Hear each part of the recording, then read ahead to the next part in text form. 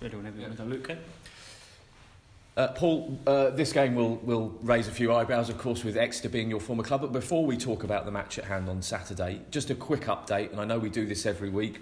Um, not so much on Conor McGrandles and Peter Pawlett, because I think we know that they're long term injured, but the, the three attacking options, Brandon, Sam, and uh, Osman, how are they coming along, and how close are they to being selected in the first side? Well, Brandon and Sam are currently playing in a, in a practice match out on the training ground, so that gives you some idea they're back into full training. So that's really good news. Really good news. So maybe another week or two, and they'll be they'll be fit for purpose. So fingers crossed. And what about Osman?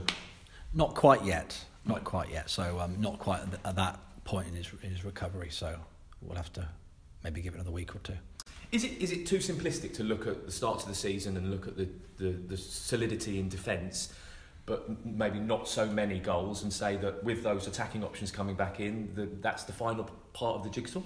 Um, possibly too simplistic. I do see us defending as a team, so defending from the front, and players being able to defend from the front and start the team off. And I do see us being able to attack from the back.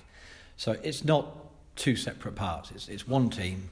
Um, it's a sharing out of the energy and the intensity when we have it and when we don't have the ball. Um, but yes, having more to select from, uh, different options will of course give me more chance to do what I need to do. But I think had we had everyone available, I probably still would have focused to begin with on our defensive focus, and I'd wanted to build this team because building a team, you know, it's is for the long haul, and it doesn't just or shouldn't just rely on the odd bit of brilliance. That's very nice to add to the team and the work ethic. So I think we've started in a place where I would have started anyway, but it would be it would be nice to have some more attacking option because I, I don't think it's. Uh, um, unfair to say we have been depleted there. Does it, was it an exciting thing to come to a club? Obviously, it was a complete transformation, but you had these young players dotted in there.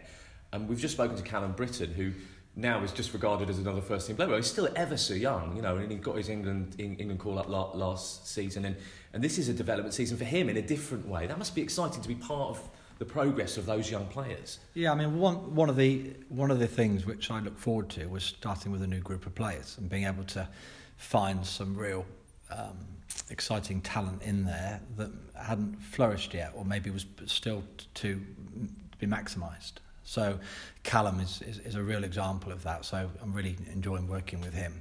Um, and it's something which I knew would happen. You, you leave somewhere where you've been so for somewhere for so long that you're going into a, a, a, a group where you haven't recruited the players, you haven't signed them all, and you, I'm going to have to learn very quickly. And uh, it's been really good to see the likes of Callum and Conor McGrandles was another one. I mean, uh, you know, obviously he got his injury at Oldham, but another player who instantly sort of took my eye during pre-season is a player who could really play my way.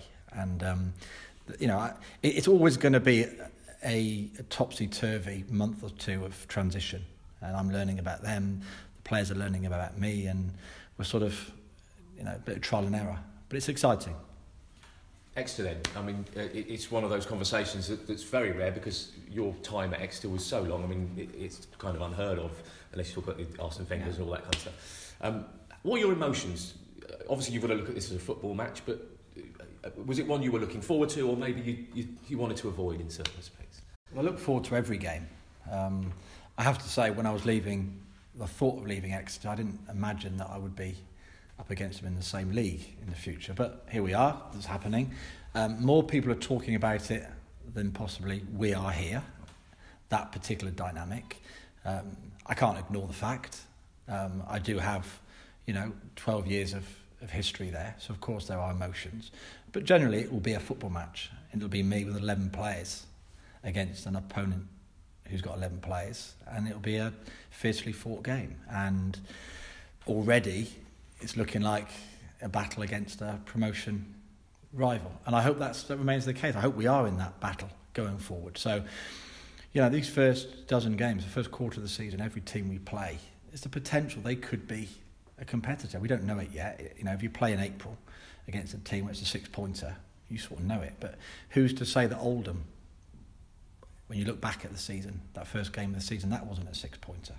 Um, and that's how we have to view all these games. I think already Exeter have shown themselves to be a very organised and disciplined unit, and they're going to be hard to beat. So it's a great game. I've already experienced you know two or three home games now. I've really enjoyed it.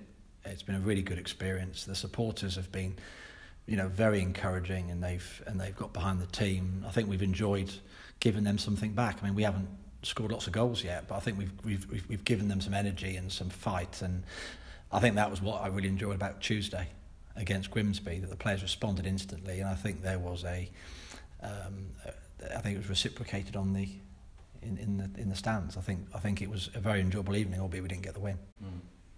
I presume, just finally, you you would expect a little bit of warmth from the travelling supporters, wouldn't you? Yeah, I hope so, but I can't I can't uh, I can't control that. Who knows? I'm looking forward to the game. I'm looking forward to playing against. Yeah, there's players I know in the opposition team. Of course there is, but I'm 100% focused on the players that I've selected and the players on the bench possibly coming on and supporters who will be supporting MK Dons. That's how it has to be. But it's a big game, and I'm really looking forward to it. And uh, um, yeah, we'll wait and see.